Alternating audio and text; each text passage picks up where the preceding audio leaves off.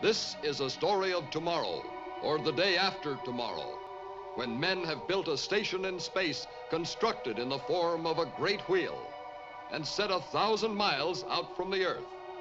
Fixed by gravity and turning about the world every two hours, serving a double purpose an observation post in the heavens and a place where a spaceship can be assembled and then launched to explore other planets and the vast universe itself in the last and greatest adventure of mankind, a plunge toward the conquest of space.